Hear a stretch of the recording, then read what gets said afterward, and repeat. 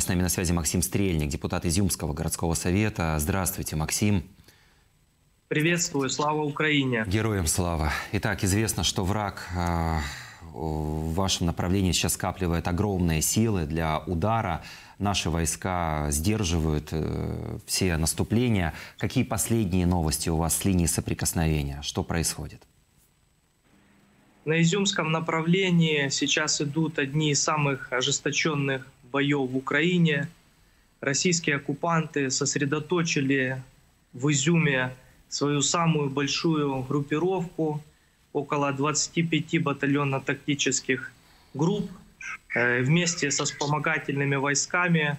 Это приблизительно 20 тысяч вооруженных солдат противника. Они постоянно пытаются э, атаковать вооруженные силы Украины в направлении города Славянска и пытаются выйти к Донецкой области. Но благодаря э, нашей армии, силам территориальной обороны Изюма, российские оккупанты уже более месяца, можно так сказать, топчатся на месте благодаря усилиям наших военных, которые их не пропускают. И они не могут выйти уже более месяца даже на э, линию админ границы между Харьковской и Донецкой области э, на Изюмском направлении.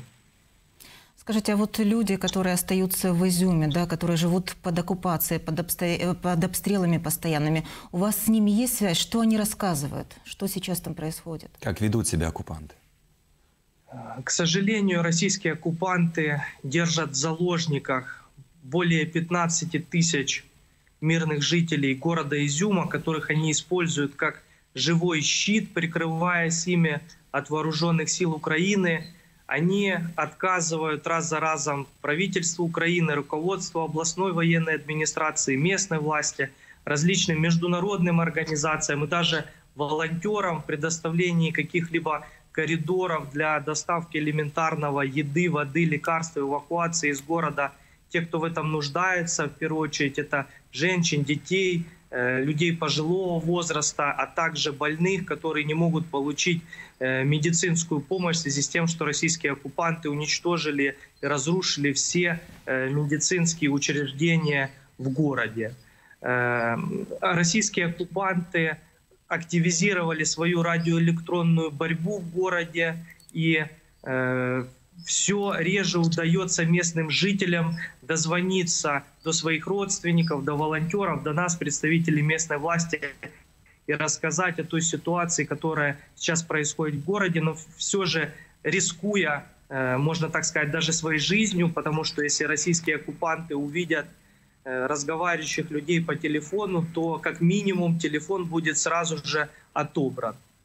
Э, но людям все-таки удается иногда дозвонить и рассказать о ситуации в городе. Там действительно гуманитарная катастрофа. Э, сейчас оккупанты уже более недели запрещают покидать город даже на своем личном транспорте. То есть до этого э, такая возможность э, была по определенным маршрутам. Сейчас город полностью заблокирован, российские оккупанты никого не пропускают. Ну, а скажите, а вот э, насильно людей из, Изюм, из Изюма в Россию вывозят, ну, проще депортируют? Есть такая информация? Э, да, мы знаем о таких случаях, э, когда людей насильно депортировали из своего жилья и вывозили на территорию Российской Федерации. Наши жители, граждане Украины, пересекли границу в контрольно-пропускном пункте Харьковской области Чугуновка – и после этого, как оказалось, их доправили э, в Белгород. Позже они проходили так называемые фильтрационные лагеря. Э, с ними общались э, спецслужбы страны-агрессора и решалась дальнейшая судьба их пребывания на территории Российской Федерации.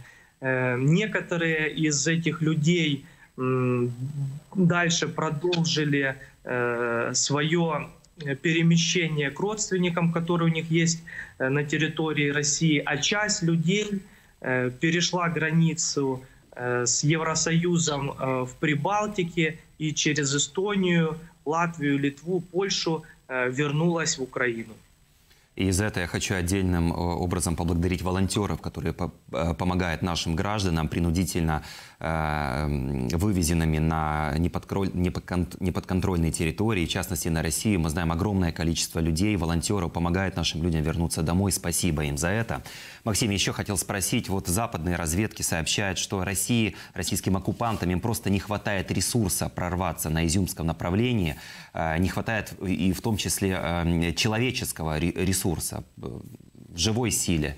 Эм, есть ли факты э, того, чтобы наших э, граждан, наших мужчин призывного возраста мобилизировали в, в свои войска?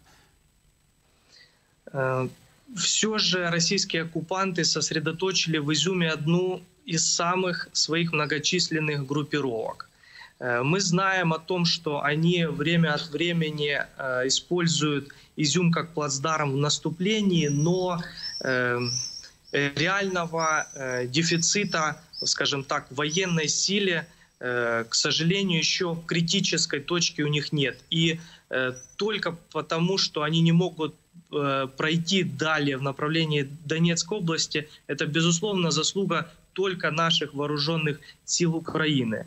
Но мы знаем, что российские оккупанты вместе и своими Э, марионетками из так званых ЛДНР э, пытались э, в Изюме на блокпостах останавливать мужчин, скажем так, призывного возраста и насильно их мобилизировать в свои незаконные военные формирования. Причем мужчин, которых они пытались таким образом, можно так сказать, взять в рабство, они, эти люди, не имели Э, никакого отношения к армии, у них нет э, никаких э, определенных военных знаний, умений для того, чтобы участвовать, скажем так, в военных действиях.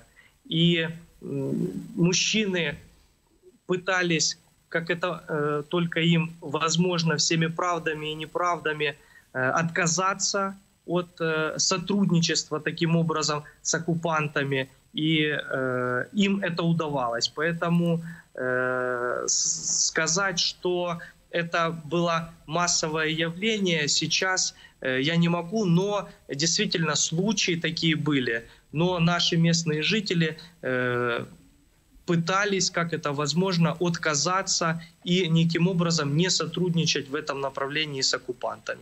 Ну, нужно отметить, Максим, думаю, вы подтвердите, что Изюм, мы давно об этом говорим в эфире, это такой некий логистический хаб э, для российских оккупантов. Э, вот этот рукав снабжения проходит в этом направлении, и перебив его, по сути, э, донбасская группировка э, российских войск э, ну, окажется обезживлена. Поэтому так важно нашим солдат, войскам сейчас сдержать это наступление и отрезать это снабжение. Мы все верим, что это случится в самое ближайшее время.